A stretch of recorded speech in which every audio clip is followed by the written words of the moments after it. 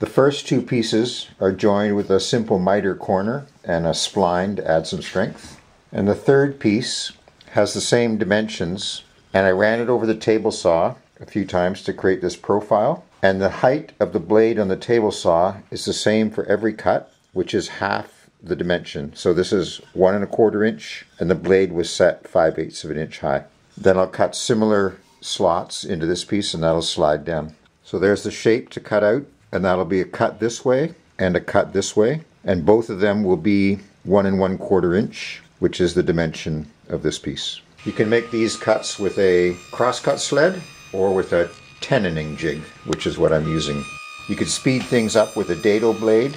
So there we are cut out. And you can see that you got long grain against long grain here. So that'll be strong, as well as here, here, and here. So four surfaces.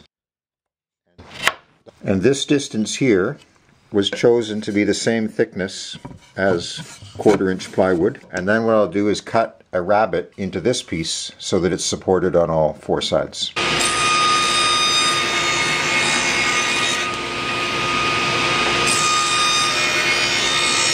With that rabbet cut on the table saw with the same blade, then there's a nice recess all around for the panel.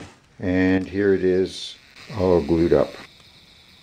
And that forms the skeleton of a dust box for the router with uh, recesses in all the sides that will receive the quarter inch plywood panels.